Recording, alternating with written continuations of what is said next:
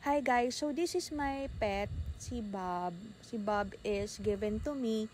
And simula nung dumating siya sa house, as in matamlay lang siya, as in ganyan lang siya.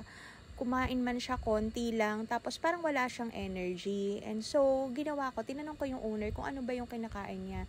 So happen na pedigree pala yung kinakain niya. So, simula nun, um, I bought yung pedigree, but then I'm so lucky to receive um, samples from pedigree ito yung wet food siya yung dry food na talagang kinakain niya.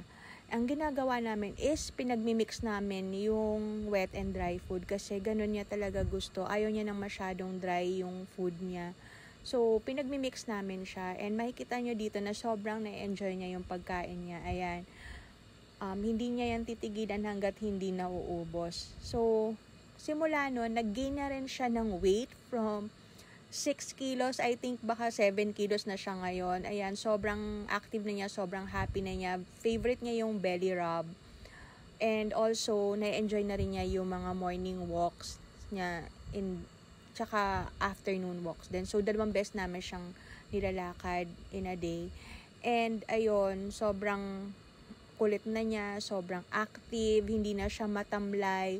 So, if you want your dogs to be um, healthy and happy, do try yung pedigree.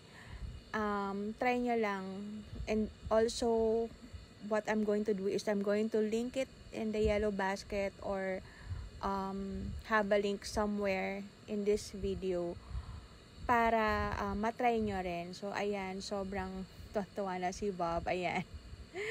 Thank you so much, Pedigree!